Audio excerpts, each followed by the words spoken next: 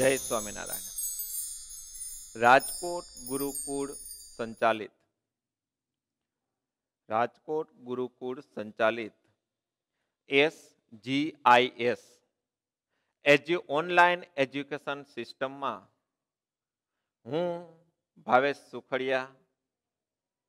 વિદ્યાર્થી મિત્રો, તમારા બધાનું હાર્દિક સ્વાગત કરું છું.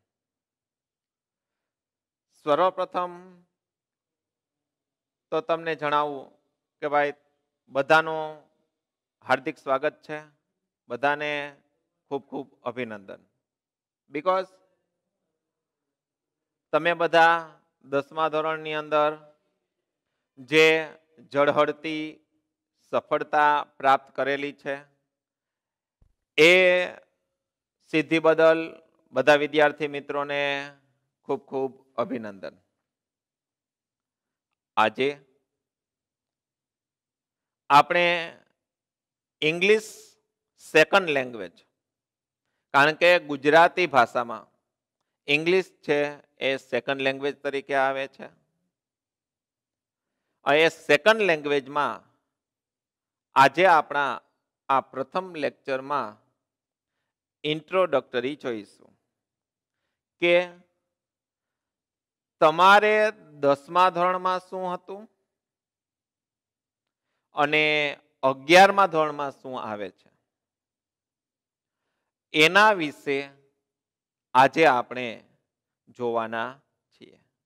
રેડી સો વિદ્યાર્થી મિત્રો, હરિસ્મરણ કરી અને આપણે આપણા કાર્યની શરૂઆત કરીશું. રેડી બોલ શ્રી સ્વામિનારાયણ ભગવાનની જય. પરમ કૃપાળુ પરમાત્મા આપણને ખૂબ જ શક્તિ આપે. વિદ્યાર્થી મિત્રો, તમે દસમા ધોરણમાં જોઈ ગયા છો. ગ્રામરની અંદર ટેક્સ્ટ અલગ આવે. બરોબર છે? કારણ કે એ સ્ટોરી છે. તો એકની એક સ્ટોરી વારંવાર ન આવે. એ બદલતી રહીએ. તમે જે આઠમા ધોરણમાં ભણી ગયા, એ નવમામાં ન આવ્યું. નવમામાં જે ભણી ગયા, એ દસમામાં ન આવી. અને તમે જે દસમામાં ભણી ગયા, એ હવે અગિયારમા ધોરણમાં નહીં આવે. અને અગિયારમા ધોરણમાં ભણશો, એ બારમામાં નહીં આવે. પરંતુ એનો બેઝ એટલે કે પાયો ગ્રામર છે. જેમ જેમ તમે ઉપર ઉપર ઉપર, એટલે કે આગળના સ્ટાન્ડર્ડમાં જાઓ છો, તેમ તેમ એનું લેવલ છે ને સ્ટેપ બાય સ્ટેપ આગળ વધતું જાય છે. રેડી કંઈક ને કંઈક થોડા ઘણા ફેરફારો એમાં બદલતા રહે છે. તો આપણે જોઈએ. દસમા ધોરણની અંદર તમે આર્ટિકલ શીખી ગયા. બરોબર ને? A, an, the. તો આ બે જ વસ્તુ છે. એ અગિયારમા ધોરણમાં આવશે, બારમામાં આવશે અને જિંદગી પર આવશે. કારણ કે ગ્રામર છે ને, એમાં કાંઈ ફેરફાર થતો નથી. બધે જ પહેલેથી લઈ અને છેલ્લે સુધી, આપણા જન્મથી લઈ અને મૃત્યુ સુધી ગ્રામર છે ને, એ એક જ રહે છે. કારણ કે એ નિર્મિત થઈ ચૂકેલું છે, એના નીતિ નિયમો ઘડાઈ ચૂકેલા છે, એ નીતિ નિયમોની અંદર કાંઈ ફેરફાર થઈ શકે નહીં. એવી જ રીતે તમે ટેન્સીસ જોઈ ચૂક્યા છો. બરોબર છે? તો કહેવાય, કેટલા ટેન્સ હોય? How many tenses there are men.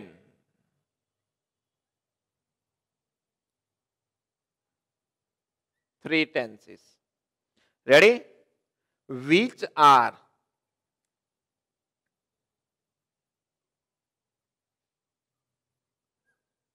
simple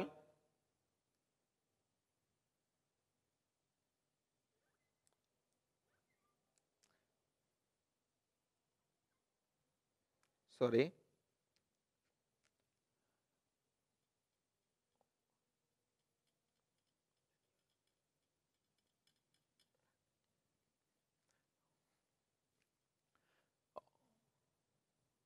present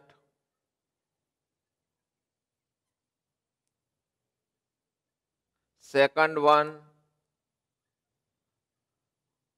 past and third one future. Ready તો પ્રેઝન્ટ પ્રેઝન્ટની અંદર કેટલા પ્રકાર આવે છે?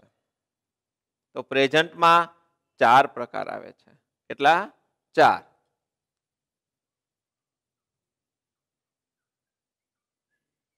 Simple present tense second one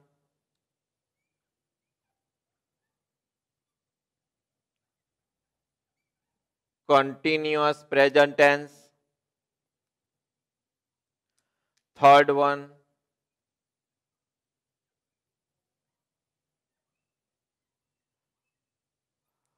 perfect present tense and fourth one.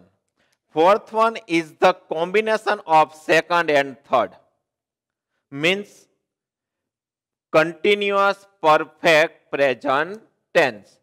Either you can say perfect continuous tense આમ તમે બંને રીતે કહી શકો છો કે continuous perfect tense or a perfect continuous tense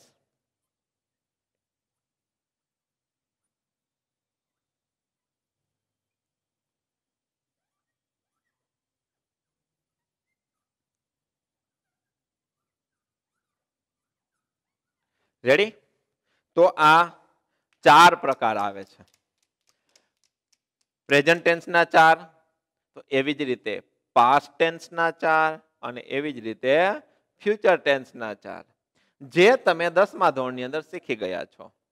તો એ જ વસ્તુ અગિયારમા ધોરણમાં આવે છે. સાથે સાથે એ જ વસ્તુ બારમા ધોરણમાં પણ આવે છે. એટલે કે ઇલેવન્થ અને ટ્વેલ્થ આ બંને ધોરણમાં આ ગ્રામર છે, એક સરખું જ આવે છે. રાઈટ ધેન આફ્ટર તમે શું શીખા? તો કે do as directed ready do as ડિરેક્ટેડની અંદર શું આવશે? તો કે ચેન્જ ધ જેન્ડર સૌથી પહેલા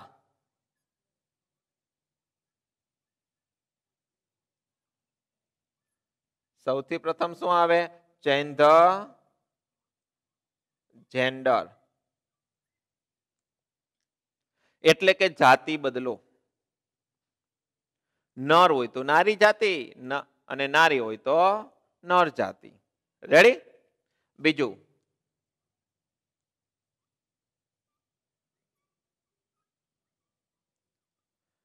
ચેન્જ the tense.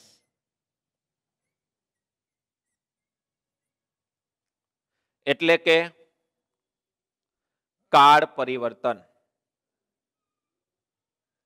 વર્તમાન સાદો વર્તમાન હોય તો સાદો ભૂત સાદો ભૂત હોય તો ચાલુ વર્તમાન ચાલુ વર્તમાન હોય તો સાદો ભવિષ્ય કાળ આમ ઇન્ટરચેન્જ થાય છે.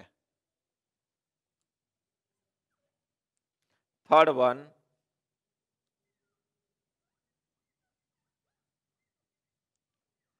change the pronoun.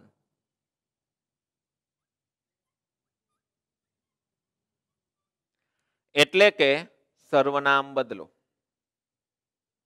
એક વચનમાંથી બહુવચનમાં લઈ જવાનું, બહુવચનમાંથી એક વચનમાં લઈ જવાનું. પ્રથમ પુરુષ એક વચન હોય તો એનું થર્ડ પુરુષ બહુવચન હોય. આમ પ્રોનાઉનમાં રૂપાંતર થાય છે. And fourth one fourth one is change the voice change the voice એટલે શું?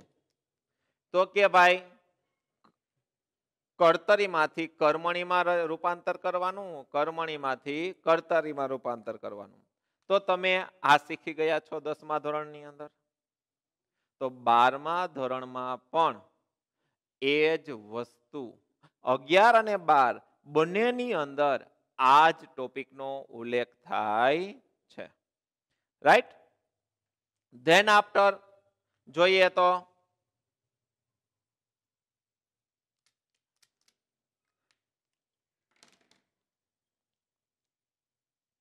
Indirect speech.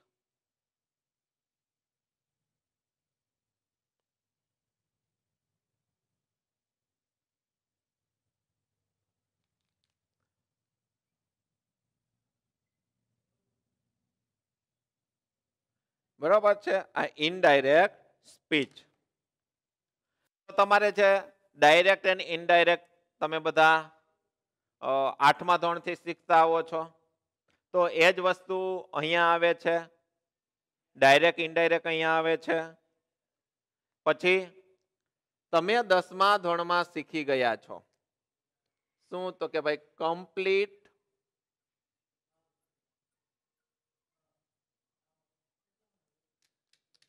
The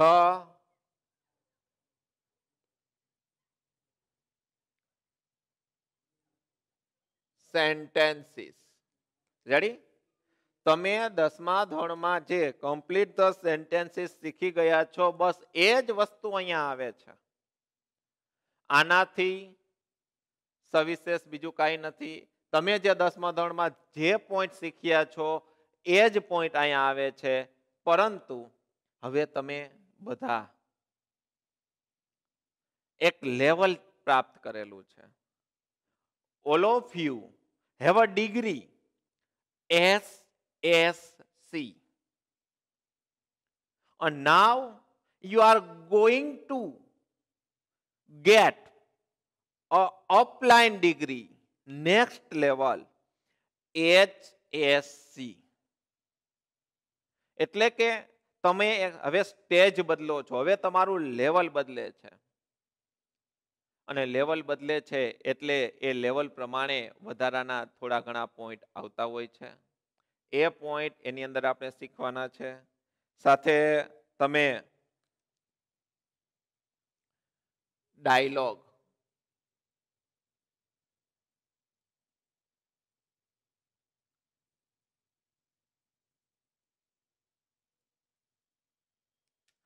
complete the dialogue.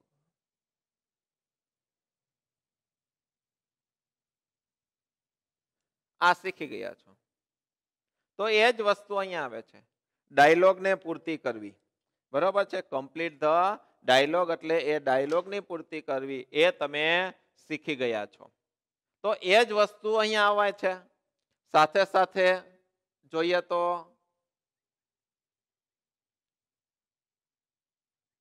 Identify the function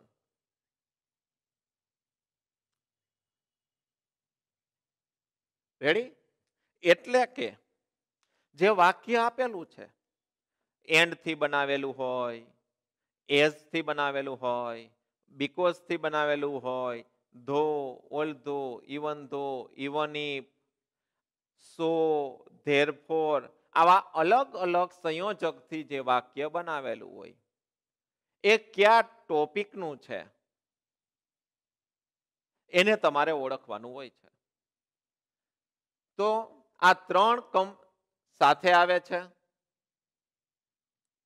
Complete the sentence complete the dialogue and identify the function ત્રણે ત્રણ એક જ point છે. એક આવડે એટલે બીજું આવડે ને બીજું આવડે, એટલે ત્રીજું ઓટોમેટિક આવડવાનું જ છે. રેડી હા. હવે તમે જો એક અહીંયા માત્ર નામ બદલે છે. માત્ર નામ બદલે છે. એ છે.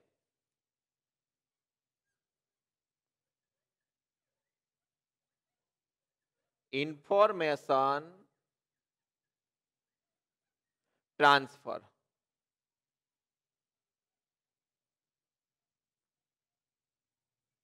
નામ ભારી ભરખમ છે.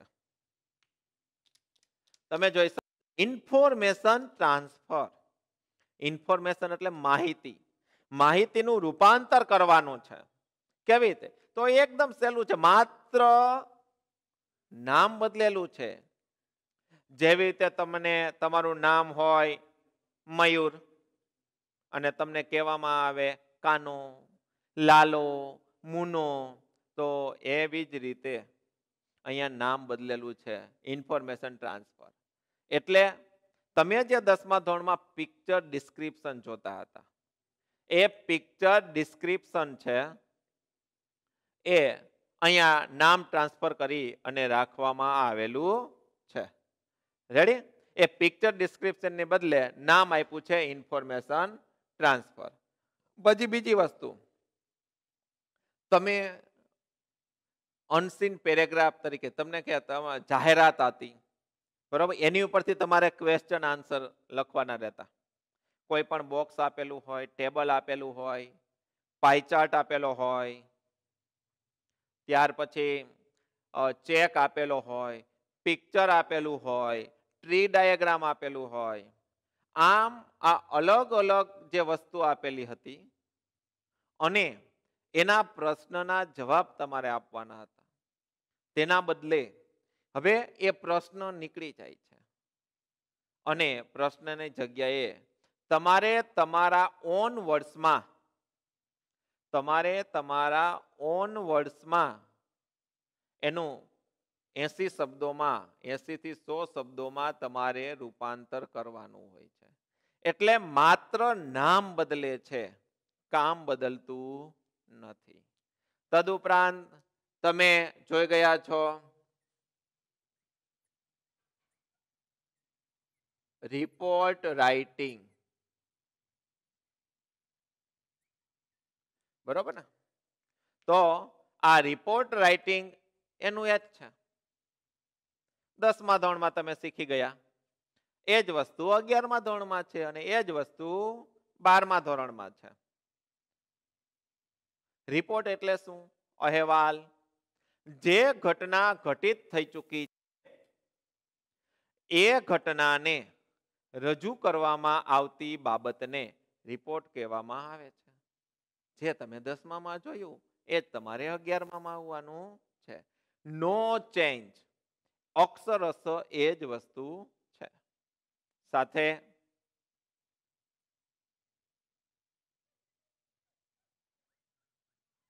એસે રાઇટિંગ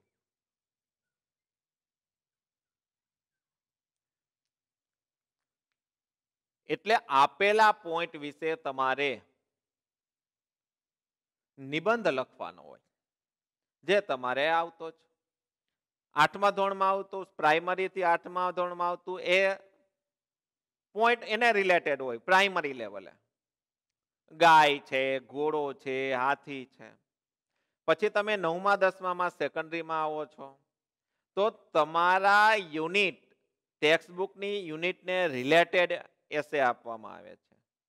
અને એવી જ રીતે હવે તમે હાયર લેવલમાં આવો છો, ત્યારે એને રિલેટેડ જે ટેક્સ્ટબુક છે, એને રિલેટેડ અપગ્રેડ થાય છે અને એસે આવે છે.